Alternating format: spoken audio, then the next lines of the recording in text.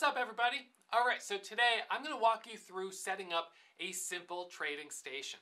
Now the reason I'm making this video is because every single week I get emailed the same question. A beginner trader will say, Ross, I want to get into trading and I think I'm going to need a new computer. What type of computer should I get? Or Ross, I want to set up external monitors like the ones that I have back there, but I don't know what monitors to buy, what cables I'll need. Or I bought the monitors, I bought the cables, I plugged them in, and all I have is a black screen. So I'm going to walk you through setting up a simple trading station. Now this video has a lot of overlap with my traveling trading station video because my traveling trading station is a very simple setup. So you'll notice a little bit of overlap there, but of course a big differentiator is that for a traveling station you need a laptop. Whereas for just a simple station, you can use a desktop computer if you want. All right, so let's get into this video and start breaking down a simple trading station.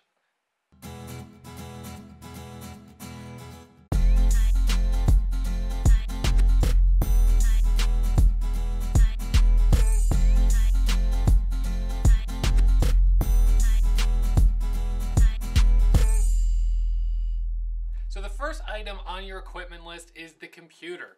So when it comes to picking out a computer for trading, what I always recommend is that you pick out a computer that's branded as a gaming computer. And that's because a gaming computer is almost always going to be much faster than just regular off-the-shelf computers. So what we look for specifically is a solid state hard drive. A solid state hard drive is a little bit of a newer type of hard drive and it runs a lot faster without overheating than the traditional disk spinning hard drives. Now you want to be careful that you don't get a hybrid. Some computers have the old disk and a new solid state hard drive kind of side by side. You don't want to do that. Just get a new one that has a dedicated, usually 256 gigabyte solid state hard drive. Now, the second thing a gaming computer will have is a lot of RAM, and that's your memory. So a typical laptop that you just buy, you know, whatever, a lower end model, might have 8 gigabytes. We want to have 16 gigabytes, if possible, 32 gigabytes. If you have a desktop computer and you can go higher, that's great, but 16 to 32 is usually just fine. Now I like to use a laptop and that's partly because of the way I work. I'm someone who works 12 to 14 hours a day and so I start the morning in bed. I open my laptop and I check the scanners, I check the news. Then I make my way back down to my office. Around lunchtime, I work in the kitchen for a little bit. In the afternoon, I often either go back to my office or I work on the couch. In the evenings, I usually work on the couch and then I finish up the night working in bed. So a laptop for me is really conducive to that work style, but I know some traders who like to have a trading desktop that they leave obviously in one room and when they're done trading they close the door of that room and they don't go back to that computer for the rest of the day because they don't want the temptation of getting back into a trade let's say in the afternoon or after hours or something like that. So there may be a sort of practical application for having a desktop, but for me, having a laptop has always been more convenient. And then of course what's really nice is that because it's a laptop, it's portable, I now have the basis for a traveling setup. And my traveling setup right now is basically the same as a simple setup. It's my laptop plus two external USB monitors. So when it comes to the external USB monitors, I really like these ones. Uh, these are made by Asus. Again, not a um, product endorsement here. not getting paid to say that. These are just the ones that I happen to like. I like them because number one, they're super skinny, so they fit in my carry-on bag. Number two, they weigh almost nothing. And number three, they're 1080. And number four, all I need to plug them in to make them work is the USB cord. I don't need to plug it into an additional power source. I don't need to get a special video adapter or video card. And I could plug in four of these into one computer. Now, the only thing stopping me from plugging in four of them for from a practical standpoint is the fact that my USB, my computer only has two USB ports. So if I wanted to plug in four of these, I would have to get a USB hub, which is basically like an extension cord for USB. You plug one into the USB of your computer and it'll give you, it'll turn one port into like four ports or into six ports. And then you can plug all the additional monitors into there. So anyways, with these USB monitors, I got them on Amazon for around $150 each.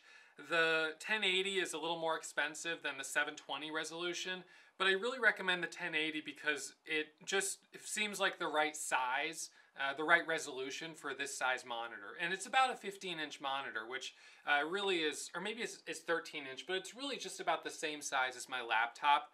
Um, I think it's 15 inch, and it, it's really just, for me, uh, a perfect fit. Now, once you have this set up, the actual monitor comes with its own little case that also serves as the monitor stand. So you don't have to lean it up against books or whatever, although you could if you wanted to. So all you have to do to power these is plug them into your USB drives, your USB ports, and when you plug it in, your computer will automatically try to download a driver for the monitor. I've had a problem a couple of times where I plug these in and they're just blank. Nothing is happening at all. So I want to walk you through what to do if that happens to you because I think it's a fairly common problem. So the first thing to do is uh, down in your search um, uh, bar, you can type in display settings. And then you'll see the option to change display settings and you click on that option. Now, as you can see here for me, it's showing these two external monitors and of course the main monitor of my laptop. And you know what, that's the fourth or fifth reason I like using um, a laptop because the laptop comes with a monitor. So I already have one and now I just add two more, which gives me three monitors total, which is cheaper than having to buy three external monitors, which is what I would need to do if I was using a desktop. So anyways, um, with the display settings, you can click the detect button, and if it says didn't detect another display, even though you have one plugged in and it's simply not recognizing it, it means that there's obviously a little bit of a problem. So the next step is to type in device um, manager, and you open this up, and this is kind of cool because what you can do is you can see basically if the driver is working for these USB monitors. So what you can do is you can click on display adapters right here and this drops down and it shows me that I have these two installed. Now the last time I was having a problem with this, um, one of the monitors was working and the other was not working. It was showing up um, somewhere down here, I can't remember if it was um, where it was, but it was showing up in one of these um, tabs down here. It was another, other devices or something like that. And I had to tell it to, I had to right click and tell it to um, disable the driver or disable the device. And then once I disabled it from there, and uh, I unplugged it, plugged it back in, it reappeared in the right place up here. So a little bit of a quirk. I'm not exactly sure why that happened. Uh, you can also, if you do run into this issue where neither of them are working, you can try to manually download the driver. And the way you do that is you just look on the back of the monitor and it says the model number. So this is MB169B+. So I Google MB169B plus drivers, and boom, it pulls up the ASUS website uh, where I can download the drivers, install them, restart the computer, and that usually gets things up and running. So getting these set up is, is usually fairly easy. You shouldn't have to go through all this. It should just be as simple as you plug it in, it recognizes it, and then you just choose where to place it. Now, one of the things you will need to remember to do is for multiple displays, choose to extend desktop to this display.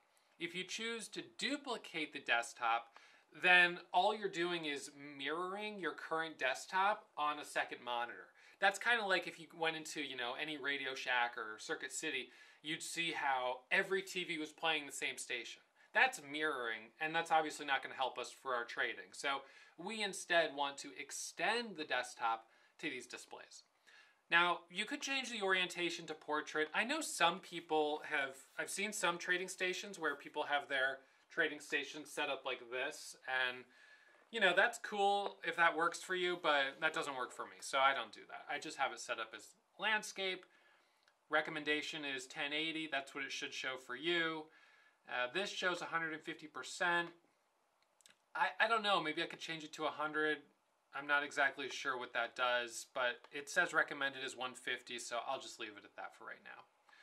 All right, and then if you wanted to change the placement of these, you had to switch them from that side to that side, you could do that, and then just click apply and it would be done. And that's really as simple as it is. I mean, like I said, you might have an issue with the drivers, but um, if you've never installed, I think the issue that I had was that I had an older version of these uh, USB monitors before I installed the new one, and I didn't delete the old driver, so it kind of caused some issues until I cleaned things up. So if you've never used one before, you should be able to just plug it in and uh, you know be be running. Now that you have your computer and you've got your monitors, and remember the only cables we needed came with the monitors, so we didn't need to buy any special cables. So if you're going to use this setup for traveling, all you need really is each monitor, each case, each USB cable that it comes with, your laptop, and the power cord, and that's it. So you're really in good shape there. Now, I personally use Wi-Fi a lot when I'm trading. And I know some people say you should always be hardwired, you should always be hardwired. You know, I try to be hardwired as much as I can when I'm at home, but sometimes because I come down from the bedroom with my laptop, I forget to plug in the Ethernet cord, and so I just end up trading on Wi-Fi and it's not a problem. When I'm at hotels, I trade on Wi-Fi and it's not a problem. What's always good to know is that you can turn your phone into a mobile hotspot. So in order to do that, I'll just show you guys real quick. Um, you go into um, you go into your settings tab.